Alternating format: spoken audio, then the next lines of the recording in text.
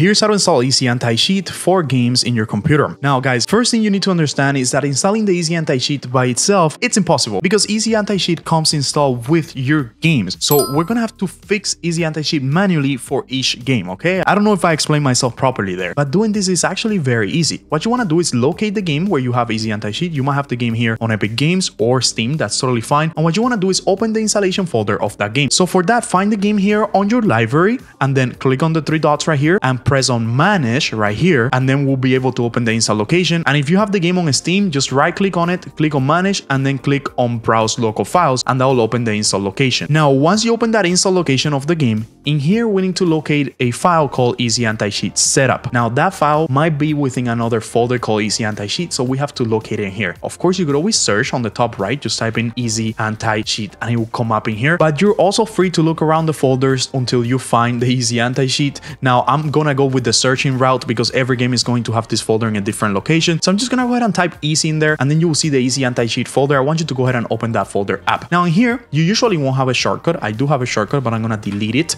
You usually would just have the easy anti-cheat EOS setup.exe and what you wanna do is right click on that and run it as an admin. Now you'll get an admin prompt, just go ahead and allow that to run and then that will open the easy anti-cheat and it will be very quick. It will close super quick as you can see in there, it's closing really quick and usually that'll fix the issue for a lot of you. However, if that's not fixing the issue, don't worry, here's what to do. Now, what you want to do is right click on the Easy Anti-Cheat setup. And then what you want to do is that if you're on Windows 11, you want to press show more options. And if you're on Windows 10, well, you'll be over here right away. And what you want to do is create a shortcut right here. Just go ahead and create shortcut and you will create this file in here, which is a shortcut. Sometimes it might place it on your desktop. And if it does, just drag and drop it back into this folder. Now with this file in here, you want to right click on it on the shortcut and you want to press properties. And then what you want to do in here is head over to the target line and then go all the way to the end right after these quotes in here, press a space, open a new quotation and then type in repair just like that and then put another quotation in there and then press a space. So it will look like this blank quote repair